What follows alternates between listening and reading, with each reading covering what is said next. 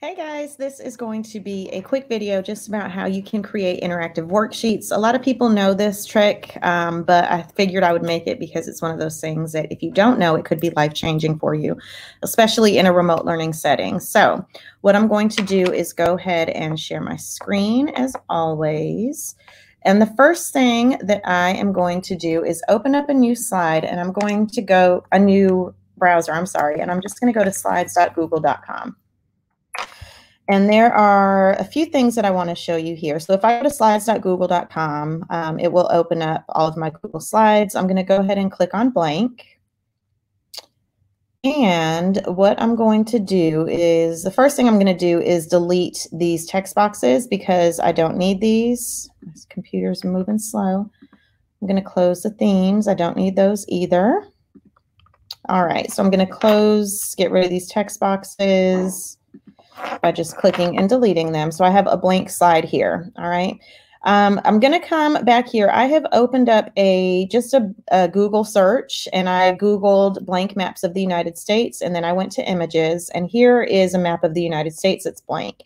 Let's say I wanted my kids to be able to label this. Well, in the past, what people sometimes do is just copy it, bring it back to their slides presentation and paste it here. Now, when your students go to label this, once you share this with your students, they might include a text box here, but then when they go to label this, let's actually do a state that is uh, easy. They might label this Texas and then maybe they start moving stuff around and it messes it up, right? So that's no good, definitely no good. So I'm gonna get rid of this text box. I don't need that.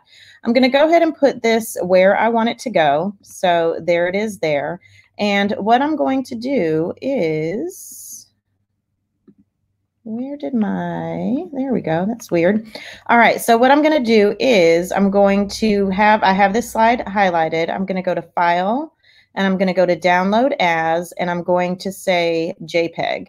So it's going to download this slide as a JPEG. All right. Now I'm going to create a new blank slide and I am going to go to background, choose image, um, and I'm actually just going to drag and drop it up there. Um, you could go search for it on your computer or whatever, and then I'm going to click done. I'm going to get rid of this first slide that I used to create it. Now you'll notice I cannot move that map around. It is stuck. It is there. The kids cannot move it around. What's great about this is that I can then go ahead and label this Texas. Now, what you could do if you are um, not wanting them to just go in blind and do this, you could create all of these text boxes and kind of put them off to the side and maybe fill them yellow so that they just stand out a little bit more. I could duplicate this. So just think about how you could use this in any of your content. I could say California.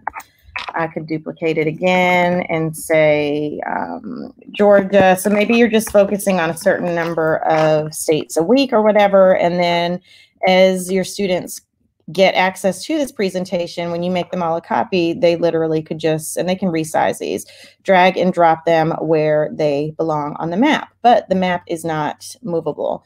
Same thing if you wanted your students to, let's say in science class, you wanted them to label an animal cell.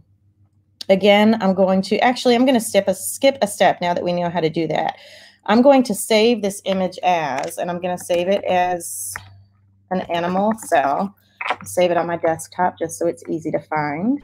I'm going to come over to my presentation. I'm going to create a blank slide. I'm going to go to insert, actually, nope, sorry, background, choose image, and it is on, I could search for it here. I'm actually going to upload it from my computer. So I'm going to go to browse, and I know it's on my desktop. There it is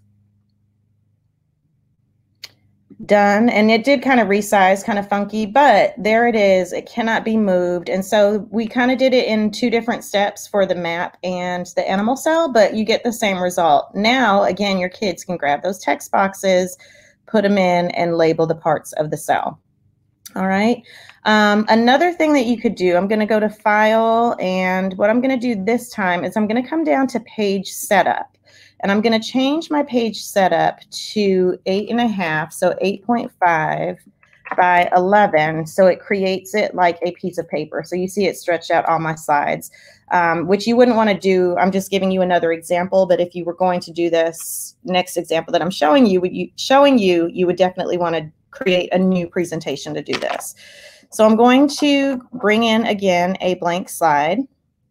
There it is. Now, what I did is I went to Teachers Pay Teachers just so I could get an example, and I looked for some free examples so I could show you.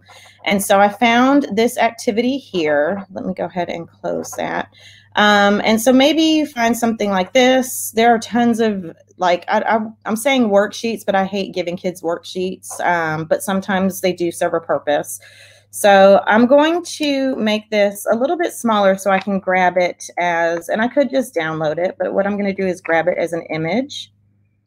So let's say I want this particular worksheet here. I'm going to grab this as a screenshot. And again, you could just download it and grab it that way. So I'm going to come back to my presentation here. I'm going to not go to insert. I keep doing that. I'm going to go to background because I want my kids to not be able to move it. Remember, I'm going to browse and I know it's a screenshot that I took on my desktop. There it is. It's putting it in. And now I have this interactive worksheet that is ready to go for my kids. And I'm going to zoom in so that you can see what it looks like. So there you go. Now, if I have, if I take each of these pages, maybe I want all of these pages for my kids to be able to use. I can do this on each of these slides. And now I have an interactive worksheet for my students. Again, oh, I'm zooming in. I want to zoom out. Again, they cannot do anything to this. All right. It is zoom back out. It is static. So your kids cannot move anything around on here it is static. Now, for them to fill this out, all you can do, or if you want to do this, or they can, if you teach them how to do this, is go ahead and put all of these text boxes, go ahead and create these text boxes so that they are already there, ready for your students. So when they click in these text boxes, or when they click on that line, they will already have a text box to type their information in. Or what you could do is teach them how to put the text boxes in, and then they would know how to do that. So they would just go ahead and enter in all their information, submit it back to you through Google Classroom or however you get the information. Um, you can also do this in uh, Microsoft PowerPoint. So if you are using Microsoft Teams, you could definitely do it that way as well.